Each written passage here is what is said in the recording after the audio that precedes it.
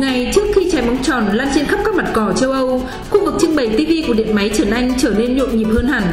So với các năm trước, sức mua của thị trường năm nay tăng tới 30%. Đây là con số khá ấn tượng so với dự đoán của thời điểm đầu năm là 20%.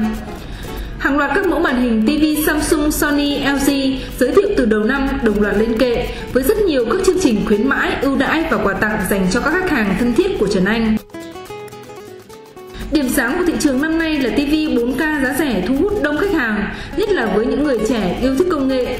Dòng màn hình Ultra HD từng được coi là sản phẩm cao cấp chỉ hướng đến một nhóm người dùng nhất định, thì giờ đã có nhiều lựa chọn phổ thông trải rộng các phân khúc và đa dạng kích cỡ.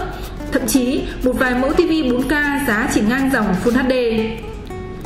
Đặc biệt trong năm nay, mỗi hãng lại có một điểm nhấn khác nhau dựa vào thế mạnh của mình. Samsung nhấn mạnh vào TV màn hình cong và TV UHD, LG thì lại tập trung vào TV UHD phân khúc giá rẻ. Sony lại nhấn mạnh vào dòng Smart và UHD in lớn. Nói chung, cả ba hãng lớn đều đặc biệt nhấn mạnh vào TV UHD in lớn để đáp ứng nhu cầu giải trí và phục vụ trong mùa Euro.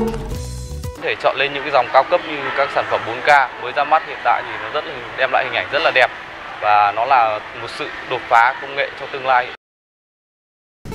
Để đáp ứng nhu cầu của khách hàng, ngay từ tháng 3, Trần Anh đã lên kế hoạch mua hàng chi tiết với tất cả các hãng, cũng như phối hợp với các hãng để đưa ra các chương trình khuyến mại ưu đãi cả về giá cả và chất lượng dịch vụ.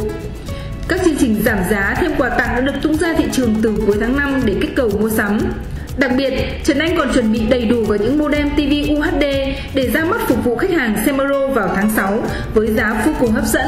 TV UHD 49 inch, 55 inch, 65 inch giá chỉ từ 13,9 triệu đồng của thương hiệu LG.